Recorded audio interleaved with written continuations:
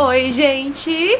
Sejam muito bem-vindas a mais um vlog aqui no canal. Hoje eu vou compartilhar um pouco do meu dia. E eu acabei de lavar o cabelo e quero contar pra vocês um pouco da rotina que eu fiz. Bom, tem um vídeo aqui no canal que eu postei já faz alguns meses aí, umas semanas, uns meses, é, uns meses, sobre a minha rotina capilar atualizada e segue do mesmo jeito. Então eu vou deixar o vídeo aqui nos cards pra vocês entenderem melhor como que eu tô fazendo. Eu simplifiquei muito a minha rotina. É, eu tenho tido uma rotina capilar muito mais prática, muito mais rápida, mas que mantém o meu cabelo hidratado, bem cuidado, nutrido, reconstruído, enfim, tudo aquilo que o nosso cabelo precisa, né? E hoje eu usei alguns produtos diferentes, testei algumas coisas novas aqui, quero compartilhar com vocês, mas a rotina, assim, basicamente o que eu fiz, a rotina, né, mesmo, segue a mesma coisa. Bom, eu comecei lavando o meu cabelo com esse shampoo da Fitobelly. Eu nunca tinha usado nenhum produto dessa marca. Eu gostei, mas eu ainda quero testar mais pra depois, quem sabe, falar mais pra vocês, né? Dar uma opinião mais formada. Aí eu usei também a máscara dessa linha da Fitobelly e o condicionador. E assim, de primeira impressão, eu posso dizer que eu gostei. O meu cabelo agradou dos produtos. O cabelo ficou bem limpinho, bem cheiroso, bem hidratado e nutrido. A linha promete nutrição e hidratação profunda. Essa linha que chama Amazon, ou Amazon, não sei ao certo como é que pronuncia, mas a linha é composta de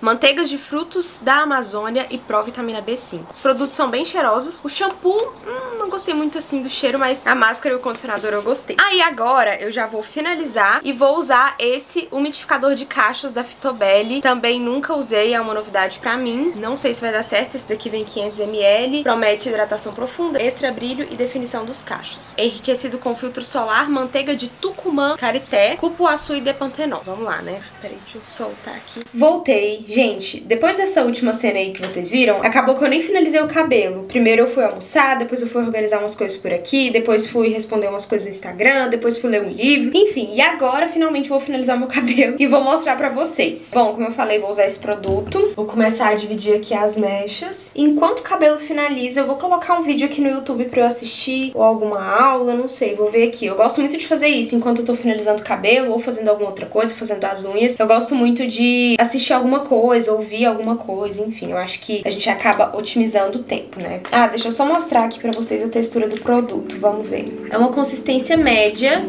ó. Vamos lá.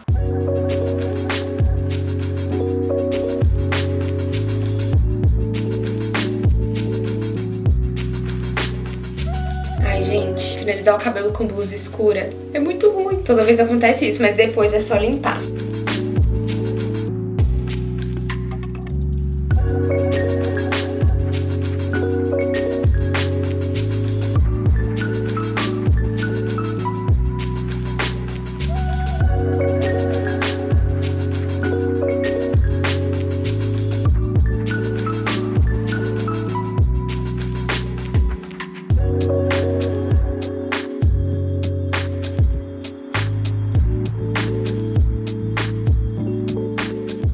Cabelos finalizados. A primeira impressão que eu tive desse creme é que ele deixou o meu cabelo bem emoliente, bem molinho, sabe? Tipo, definiu bastante, como vocês podem ver. Vamos ver como vai ser com o passar do tempo, a hora que o cabelo for absorvendo o creme. Mas o cabelo ficou bem molinho, bem emoliente, bem assim, sabe? Eu gostei da textura dele. Agora eu vou deixar secar. Tenho muita coisa pra fazer hoje, já são 2h20 da tarde. Eu quero arrumar as minhas unhas, preciso gravar mais um vídeo aqui pro YouTube, preciso gravar uma aula pro Clube da autoestima. A rotina tá uma loucura aqui nessa tarde, mas eu vou compartilhando tudo com vocês. Bora lá.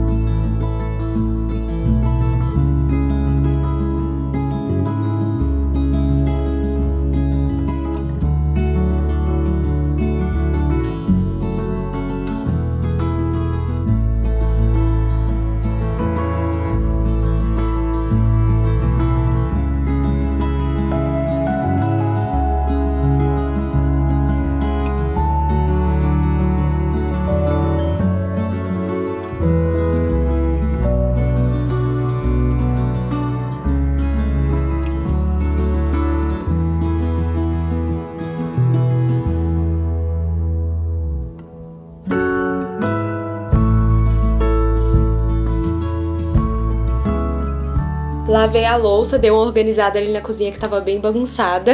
E foi bom porque minha cutícula agora tá bem molinha, então já vou aproveitar pra fazer as unhas. Como eu falei, eu tô bem corrida, eu preciso gravar algumas coisas, né? Só que aí eu vou aproveitar esse tempo que eu vou estar tá fazendo as unhas pra estudar algumas coisas aqui que vão me ajudar na aula que eu vou gravar mais tarde, entendeu? Então eu já vou unir o útil ao agradável. De qualquer forma, pra fazer o roteiro, eu iria dar uma estudada, iria dar uma pesquisada em algumas coisas, então eu já vou ouvindo, assistindo aqui as aulas, os vídeos que eu preciso assistir pra me ajudar na produção desse roteiro da aula que eu vou gravar mais tarde. Então meio que vai fazer sentido eu arrumar minha unha agora, sabe? Aí eu já aproveito pra ficar com a unha bonita também nos vídeos, né? Então vamos lá, é isso que eu vou fazer agora. Tô aqui com o meu kit de unhas. Um dia, se vocês quiserem, eu até posso mostrar o que eu tenho, como eu faço as minhas. Na verdade, como eu faço eu já mostrei, vou deixar o link do vlog em que eu falo sobre a técnica das sete camadas aqui no canal. Mas depois eu posso mostrar os meus produtos. Eu tenho poucos esmaltes, reduzi bastante o que eu tinha e tem funcionado bastante aqui pra mim. Se vocês quiserem algum outro vlog eu posso mostrar depois. É isso, bora lá.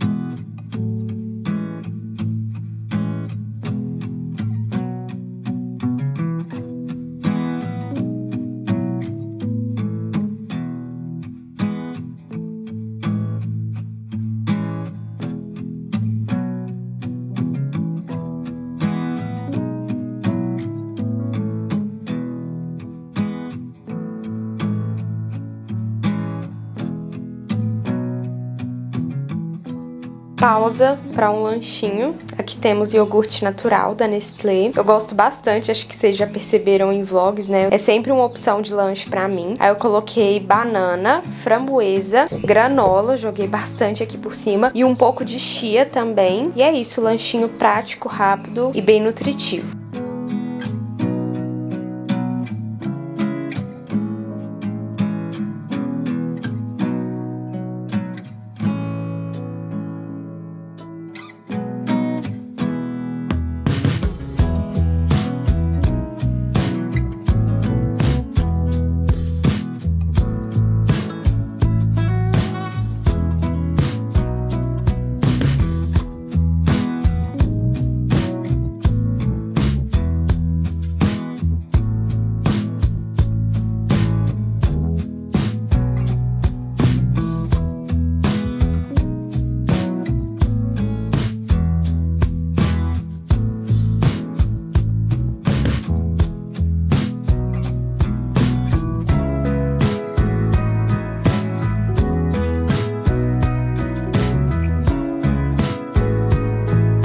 Feitas, ó. Passei esse esmalte branquinho da Risqué. Se não me engano, a cor é chá branco. Olhem só, amei bastante. Agora eu vou me preparar pra gravar um vídeo. Bora lá.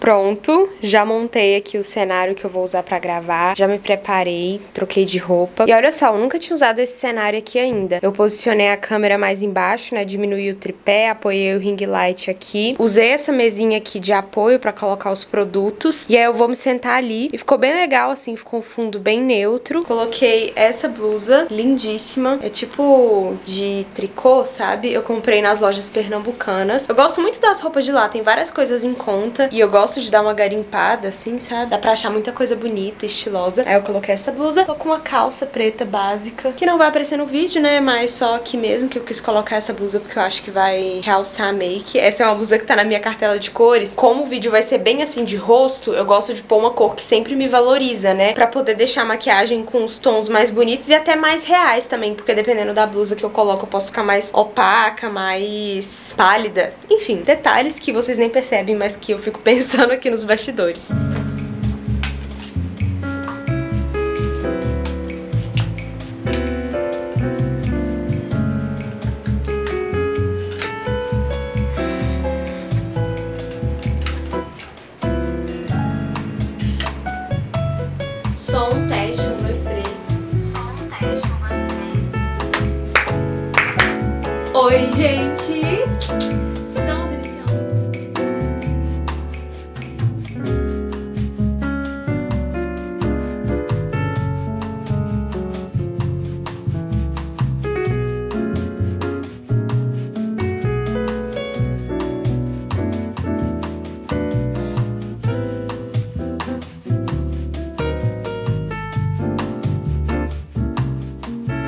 Gravado, make feita. Provavelmente essa make ainda não saiu aqui no canal, então fiquem de olho, que em breve vai sair é uma make só com recebidos. Ai, gente, aqui não tá dando pra ver direito. Mas enfim, eu amei, saiu um pouco da minha zona de conforto, mas ainda assim ficou bem no estilo que eu gosto. E, olhem só, deixa eu mostrar pra vocês o resultado da finalização. Gente, olhem só essa finalização. Eu tô completamente apaixonada. Esse creme, ele realmente tem esse efeito umidificador. Deixa o cabelo mais pesado, tanto que minha mão tá um pouco assim transferindo óleo, sabe? Tinha tempo que eu não usava um creme assim. Ela, ele fica transferindo um pouco, mas eu gosto. Eu tinha esquecido que eu gosto, sabe? Um pouco desse efeito umidificado. Eu gosto. Claro que às vezes incomoda esse, esse olhinho, né, que vai transferindo um pouco, mas eu gosto do efeito. O cabelo fica muito brilhoso, muito definido. E assim, eu curti muito, muito mesmo. Se eu vou usar de novo, vou. Quero usar de novo. Curti, viu, esse produto. Quem já tiver testado esse creme, me conta aqui nos comentários, mas no meu cabelo deu muito certo. Vamos ver como vai ser o day after, né? Eu posso ir testando aí, quem sabe em outros vlogs eu conto mais pra vocês. Mas eu amei, viu? Desencolhi o cabelo, como vocês podem ver, com o secador, como de costume. E eu amei muito. E agora, ó, terminei a gravação aqui da make. O que, que eu vou fazer? Vou deixar essa bagunça aqui. Ó, tem bastante produto aqui, a câmera. Vou só desligar esse ring light. Eu vou deixar pra organizar isso depois. Acabou que eu nem gravei a aula pro Clube da Autoestima. Não deu tempo. Eu precisava gravar esse vídeo aqui de make e eu iria gravar a aula depois. Mas já são 7h40, gente, da noite. Eu já tô bem cansada. Eu vou gravar a aula amanhã. De qualquer forma, a aula vai ao ar só amanhã mesmo dentro do clube. Então eu vou gravar amanhã. E é isso. Vou encerrar o meu expediente por aqui. Vou só apagar as luzes aqui mesmo, apagar essa luminária. Vou deixar pra juntar essa bagunça amanhã. Desligar o ar.